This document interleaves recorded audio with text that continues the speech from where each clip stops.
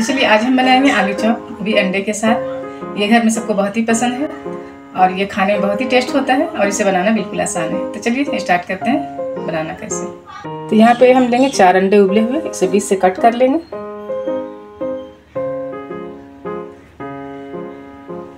इस तरह से। तो अंडे को बीस से हम इस तरह से कट कर लेंगे और यहाँ पर लेंगे छिले हुए चार आलू, इसे भी मैश कर लेंगे।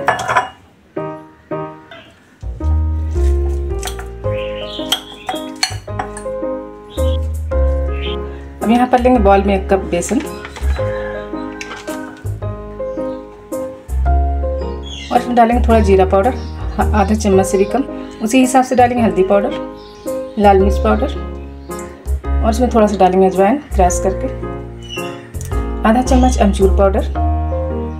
इसमें डालेंगे थोड़ा कुटी हुई लाल मिर्ची। और इसमें डालेंगे एक छोटी चम्मच से खाने वाला मीठा सोडा। और साथ में डालेंगे नमक, टेस्ट के हिसाब से।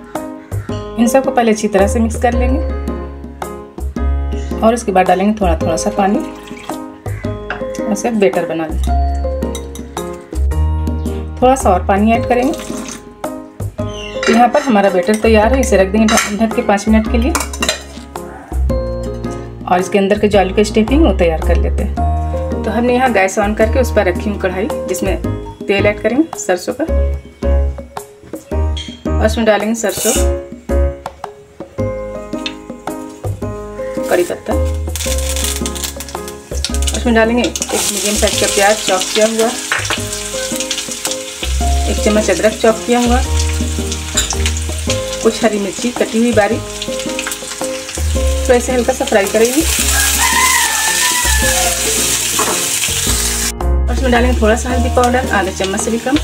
ये मिर्ची पाउडर, ये भी आधा चम्मच से भी कम। और साथ ही डालेंगे थोड़ा काली मिर्च पाउडर, एक चुटकी। और डालेंगे इसमें मैगी मसाला। टेस्ट के हिसाब से नमक। इन सबको अच्छी तरह से मिक्स करेंगे। अब इसमें डाल देंगे मिक्स किए हुए आलू। और साथ ही डालेंगे ड्राई किए धनिया पत्ता। इन सबको अच्छी तरह से मिक्स करेंगे।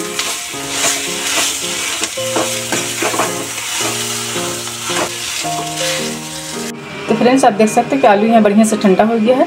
हाथ में इस तरह से हल्का सा तेल लगाया और आलू का मिक्सर को अच्छी तरह से फ्लैट कर ले।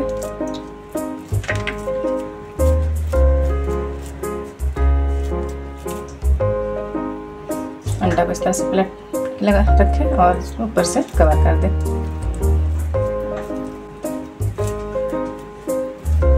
तो सभी को हमें इस तरह से कर लेनी है। तो हमने सभी आलू की मिक्सर को अंडे के ऊपर इस तरह से कोट कर लिए। अब चलते इसे फ्राई करने। तो यहाँ पे हमारा तेल भी गर्म है और हम इस तरह से बेसन में एक एक करके डिप करेंगे।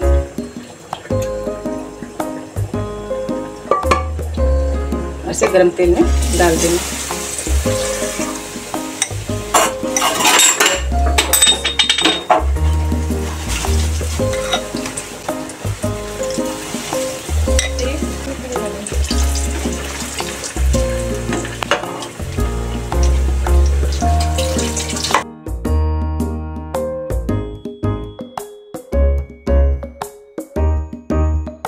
तो फ्रेंड्स, आप देख सकते हैं कि हमारा अंडा चूर कितना बेहतरीन से फ्राई हो चुका है। अब हम इसे निकाल लेते हैं।